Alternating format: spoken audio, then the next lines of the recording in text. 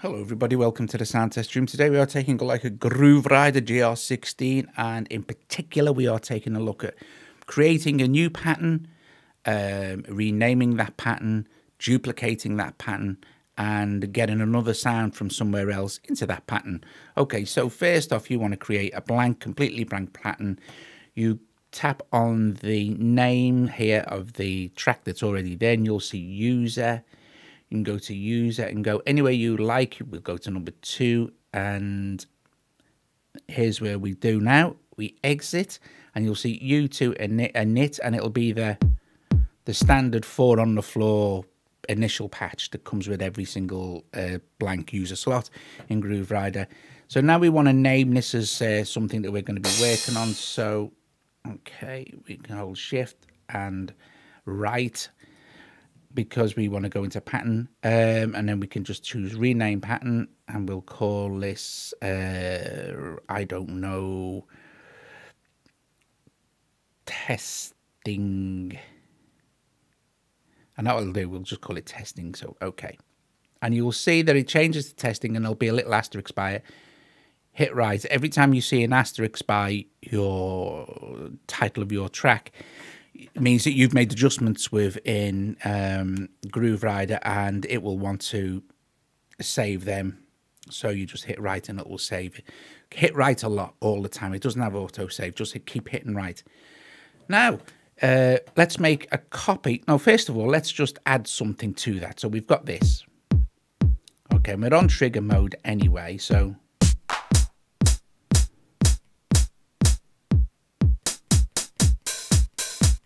So we'll hit record. Two, three, four. Done. We want to copy that to a new one now. Okay, so see the little asterisks? Pattern saved. Okay. Hit shift again and right and then put save to new. And what it will do, pattern saved okay. What it will do is it will just directly copy it to the next one available, okay? So U3, we need to rename that as well. Now here is the other way to rename. Hold shift, right again, rename pattern and call it testing one and then press OK. But you will see that it will not have changed. If we exit, you will see that it has and you will see that there is a little asterisk hit right and pattern will be saved as testing one. Now when we go back into our memory there, we'll have our, our track list, if you like, our selector, pattern selector. You'll have testing and testing one, and testing one is selected. We can exit and we have recorded that into there. So we could choose, for instance, a snare. Let's just hit record.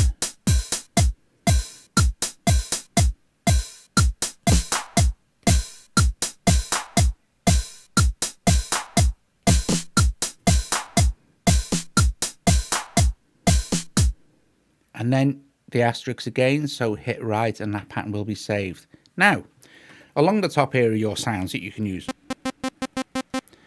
You can choose i mean you can put a sound on every single every single one of these it doesn't matter but you can choose which sounds to put in.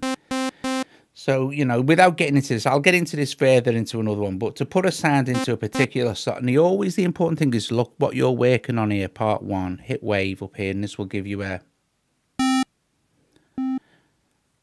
selection of sounds, and it's the synth engine from Poison.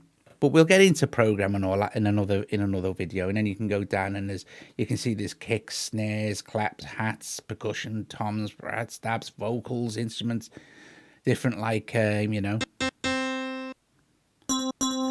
things like this. Anyway, doesn't matter. let's exit all of that.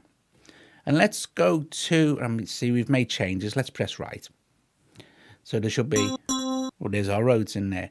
But let's just do this. Let's go to uh, one of Jim's ones, this one, for instance.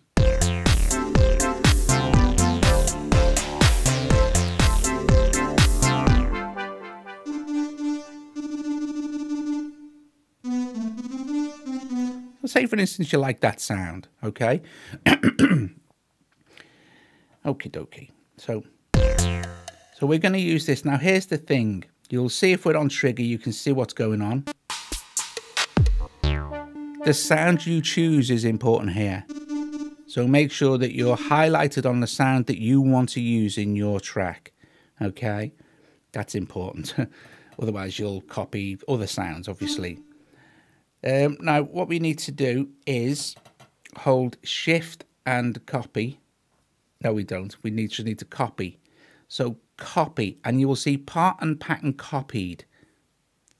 Go to user, go to testing one or whichever it is you're working on, and then go to see copies now highlighted. Press copy, and then you can either paste the entire part or paste the notes or paste the part sound. Well, I just want to paste that sound. So paste part sound and it's in there. Okay. Brilliant. So we have our piano in there and our oscillator there. So if we exit, little thing there, let's press right. So that's saved. So now we can play in. We're very happy with that. We've found a sound that we like and we've managed to get it into our new track. Now, guys, I'm not going to go any further today because it's you will it will you will get bored and stop watching and, and not learn anything else that's new. Except that now you've got this in, you could go to say keys. You could put a little bit in, say.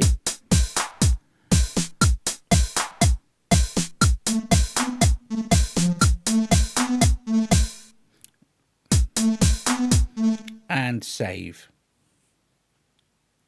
Okay, so hopefully you've learnt now how to create out your own pattern, duplicate it, and then rename it so that you know what's going on. so that eventually you've built up a track like this, for instance, where it says Personal Genius one, two, three, and 4. That's how you can name them if you want to. And then as you as you travel through...